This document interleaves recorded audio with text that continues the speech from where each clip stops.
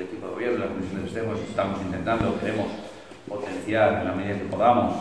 poco a poco, a ver si lo reconducimos, por decirlo de alguna forma, sobre todo ese galopeo,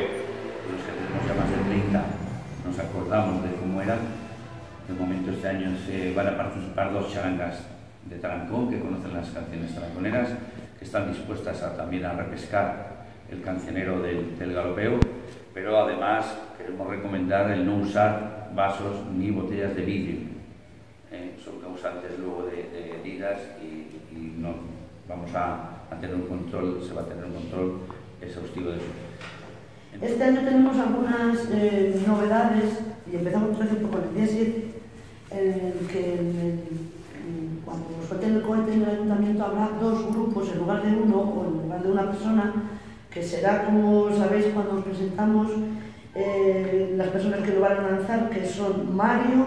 y los, y los chicos del proyecto que pintas en la calle.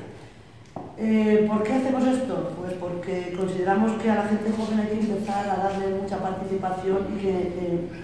en definitiva, se sientan ellos protagonistas de sus fiestas. Entonces, aunque son dos cosas diferentes, uno es deporte y el otro es, pues, se dedican a, la cultura, al arte, mmm, se pueden mezclar fácilmente, eh, entre ellos son amigos, conocidos y no hay ningún problema.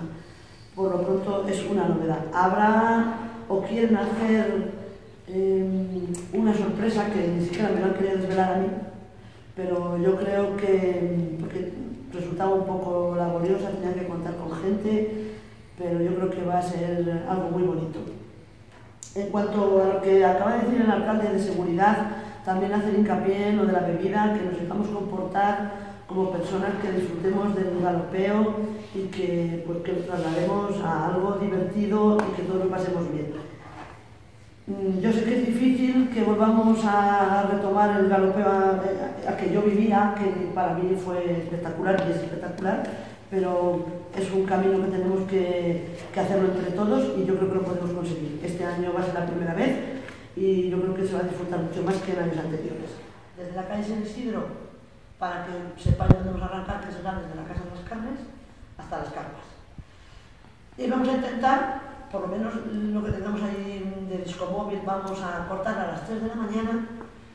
para que la gente que quiera ir a descansar y se prepare para el día 7 el galopeo, que creo que es eh, el acto más importante del de, de inicio de las fiestas,